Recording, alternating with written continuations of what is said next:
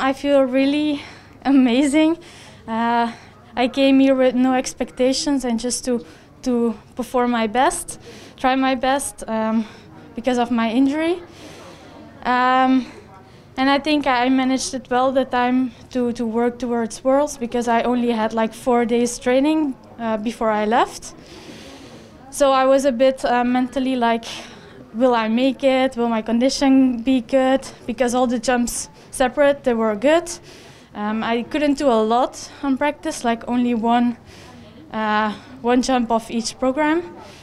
So, um, but yeah, I'm really happy with how I performed today. And um, now I have a lot of pain, um, but that's normal because uh, I wanted to give everything I had, and uh, I've for the first time my physio with me, so she can uh, take care of me, and and that's uh, a huge relief. I think I just have to be really smart um, how I will train tomorrow, um, and just see that I don't overtrain or do a lot, and just try to do the same as I did in short, and just to perform at my free program like I don't have an injury, so.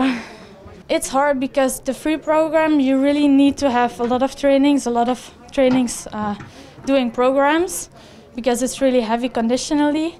And when when you're tired your legs get tired and it's more it's harder to jump. So i think um, i just will try my best and then we will see but it's not like in my head that i need to have a medal. I just wanted to enjoy my last competition and that's what i did today as well